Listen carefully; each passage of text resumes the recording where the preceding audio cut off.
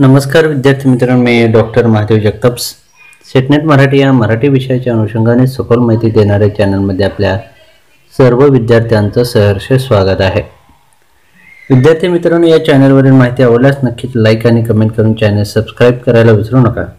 तसेच शेजारील असलेली बेल त्या ठिकाणी प्रेस करावी जेणेकरून मी टाकलेला व्हिडिओ आपणापर्यंत लवकरात लवकर पोहोचेल आणि तो अभ्यासाच्या दृष्टिकोनातून आपण लवकर पाहू शकाल.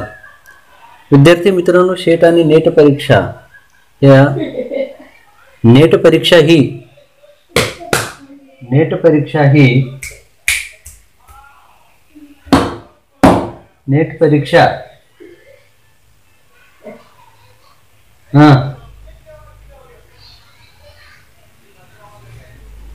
चार नोव्हेंबर दोन हजार वीस रोजी होत आहे तर शेट परीक्षा सत्तावीस डिसेंबर दोन हजार वीस रोजी होत आहे.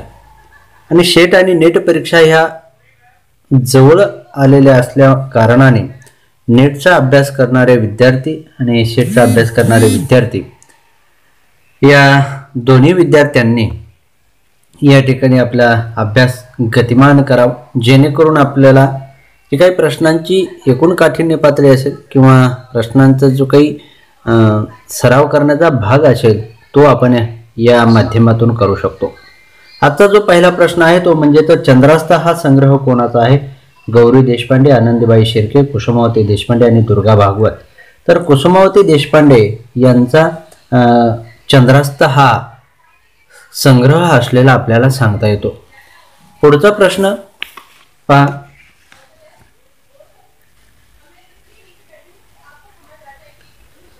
संस्कृत ग्रीक लॅटिन या भाषामधील साम्यस्थळे यादृच्छिक नसून या भाषामागे एकच जनक भाषा असावी असा तर्क कोणी मानला? तर सल्ल सर विल्यम जोन्स यांनी संस्कृत ग्रीक व लॅटिन या भाषामधील साम्यस्थळे शोधून साम्यस्थळे ही यादृच्छिक नसून यादृच्छिक नसून या भाषामागे एकच जनक भाषा असावी असा तर्क मांडलेला दिसून येतो. येस्पर्सन किंवा चॉम्स्की किंवा पाणीने हे जे काही पर्याय आहेत हे पर्याय या ठिकाणी चुकीचे आहेत. पुढचा प्रश्न. वेगवेगळ्या स्वनांमध्ये जर स्वनिम भाषा ही त्या ठिकाणी स्वनिम भाषा स्वनिम साम्य असेल तर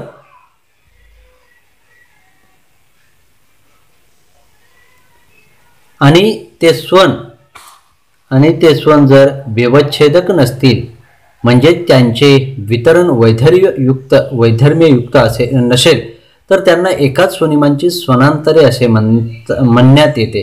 आणि हे संपूर्ण विधान अगदी बरोबर आहे कारण वेगवेगळ्या स्वनांमध्ये जर स्वनिम साम्य असेल आणि ते ते स्वन जर व्यवच्छेदक नसतील म्हणजे त्यांचे वितरण हे वैधर्म्ययुक्त नसेल तर त्यांना एका स्वनिमांची स्वनांतरे असे म्हणतात. पुढचा प्रश्न आपण पाहणार आहोत तो अशा पद्धतीचा आहे. पहा.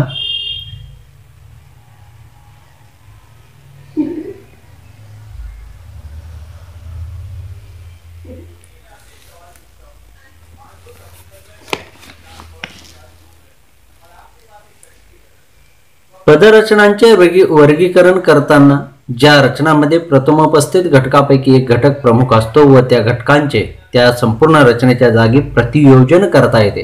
अशा रचनेला काय म्हणतात?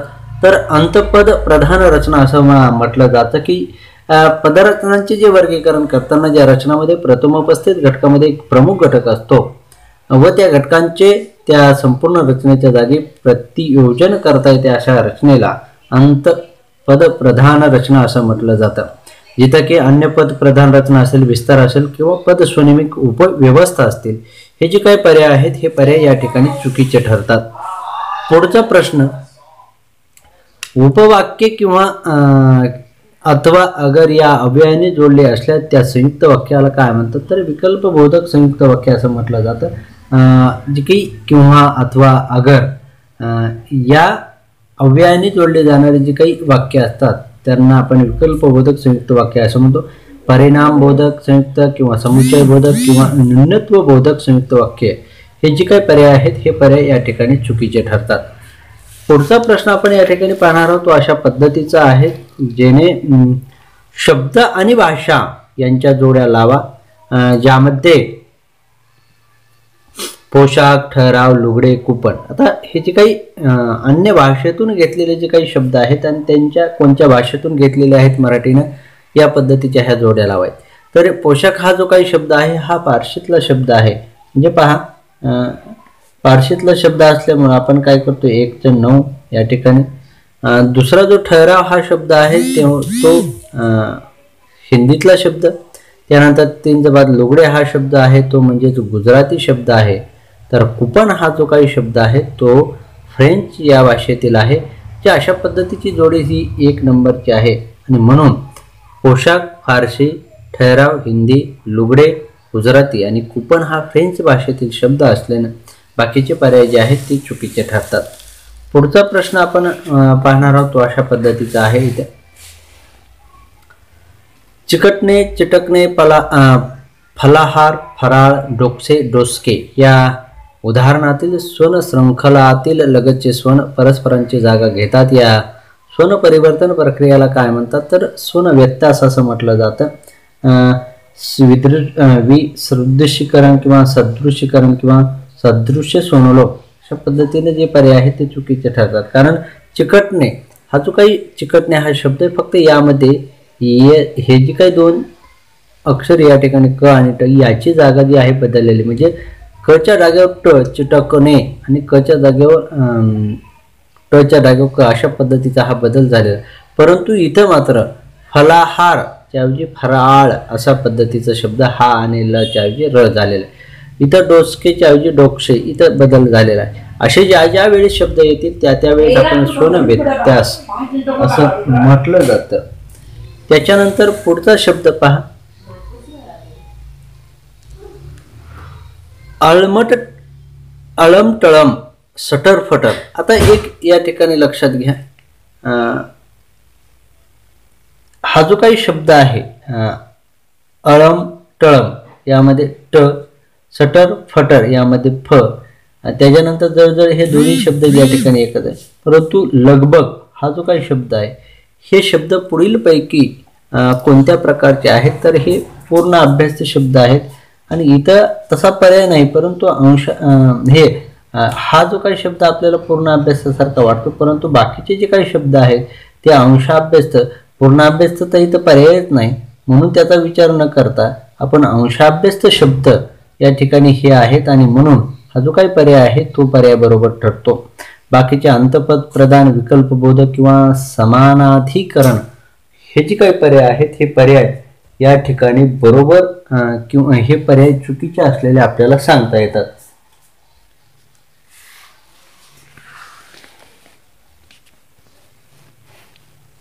जनन ही संकल्पना मानवी कुलांना तशी तंतोतंत लागू पडते तशी भाषा कुलांना लागू पडत नाही.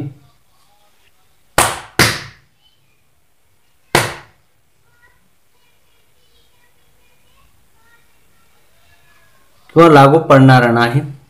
या ठिकाणी संपूर्ण विधान हे बरोबर आहे कारण जनन ही जी काही संकल्पना आहे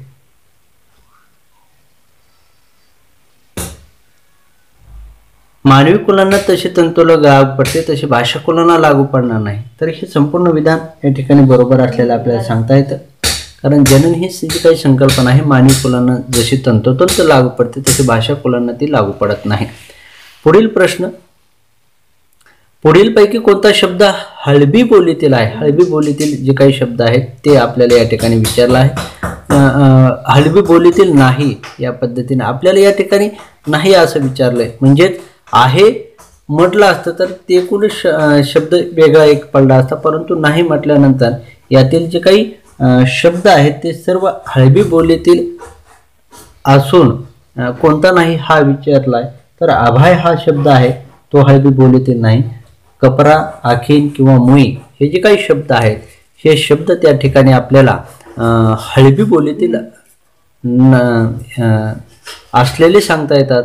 परंतु आभाय हा शब्द हळबी बोलीतील नाही हे आपण या ठिकाणी लक्षात घ्यावं.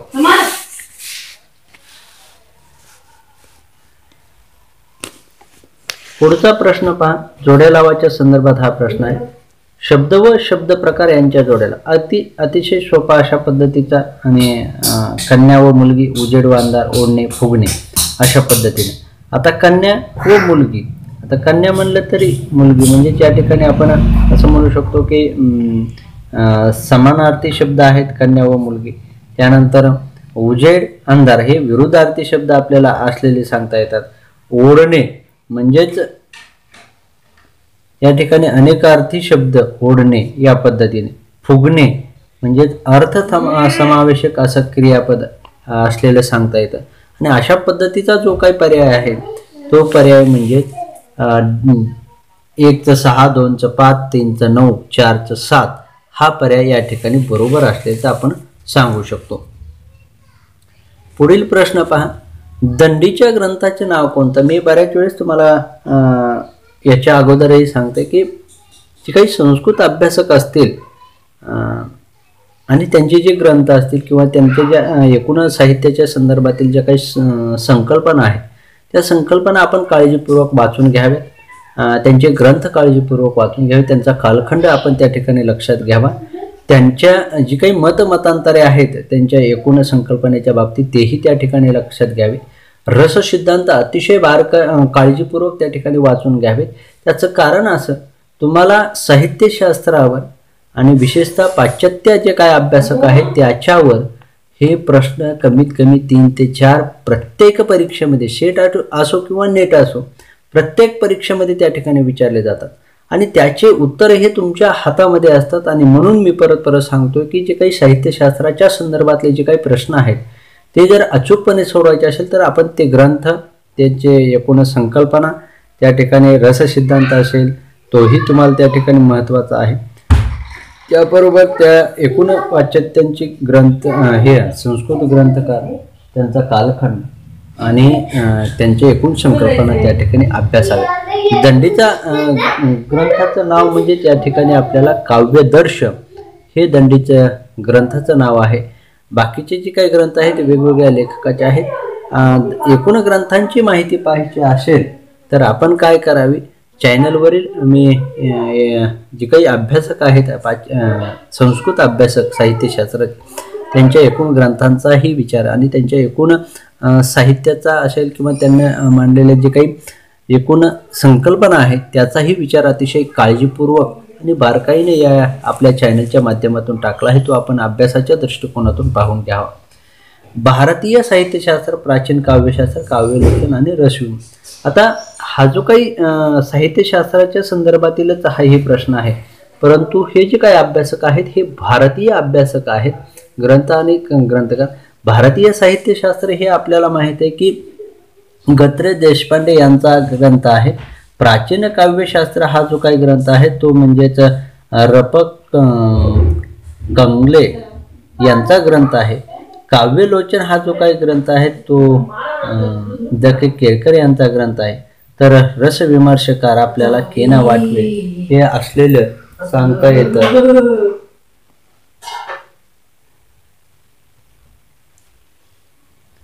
आणि म्हणून प्रतिभेच्या प्रतिभेच्या संदर्भात दर्शन दर्शना आणि अं, वर्णना हा जो काही भेद आहे तो कोणी केला? अशा पद्धतीचा हा प्रश्न आहे. मी या ठिकाणचा जो काही याच्या अगोदरचा बी पर्याय बरोबर एकचं सात दोनचं सहा तीनचं पाच आणि चारचं नऊ. तर प्रतिभेच्या संदर्भात दर्शन आणि वर्णन हा जो काही भेद आहे तो कोणी केला? तर या ठिकाणी जो भेद आहे तो भट्ट तवते यांनी केलेला आहे. मी आताच मागच्या प्रश्नात म्हटल्याप्रमाणे की एकूण साहित्यशास्त्र साहित्यशास्त्र किंवा साहित्याची जी मूलतत्वे आहे ती पाहत असताना आपण जे एकूण संस्कृत अभ्यासक आहेत आणि त्यांना ज्या मांडलेल्या ज्या काही संकल्पना आहेत त्या अतिशय काळजीपूर्वक त्या पाहाव्यात. कारण ते अतिशय एकदा समजल्यानंतर त्याचे प्रश्न अतिशय सोप्या पद्धतीचे असतात आणि ते प्रश्न सो सोडवायला आपल्याला जास्त वेळ लागत नाही. आणि म्हणून प्र- अं, प्रतिभेच्या दर्शन व वर्णन हा जो काही भेद आहे तो भट्ट यांनी केलेला रसाच्या संदर्भात उपचित स्थायी म्हणजे रस ही कल्पना कोणी मांडली? आता उपचित हा शब्द या ठिकाणी आपण लक्षात घ्यावा. कारण उपचित किंवा उपपत्तीवाद हा भट्ट लोलट यांनी मांडलेला आहे. कारण या बारकाईनं संकल्पना समजून घ्यायच्या असतील तर आपण चॅनलवरील या संदर्भात उपपत्तीच्या संदर्भात व्हिडिओ टाकलेला आहे तो आपण काळजीपूर्वक त्या ठिकाणी पाहावा. कारण बऱ्याच वेळेस अशा यावर याच्या अगोदरही प्रश्न पडलेले आहेत. आणि त्याची एकूण अभ्यास करत असताना आपण हो एक एकीने काळजी घेतली तर आपल्याला सांगता येईल. विद्यार्थी मित्रांनो आता शेवटचा प्रश्न आपण या ठिकाणी पाहणार आहोत. तो अशा पद्धतीचा आहे. भाले प्रवेश करतात कोणतं प्रवेशंती हे विधान लक्षणेच्या कोणत्या प्रकारेत आहेत तर सुद्धा उपादान अशा या लक्षणेतल्या प्रकारेतलं आहे. म्हणजे सुद्धा लक्षण लक्षणं किंवा शुद्ध सारोपाक किंवा गौणी सारोपाक. हे जे काही पर्याय आहेत ते पर्याय या ठिकाणी चुकीचे ठरतात.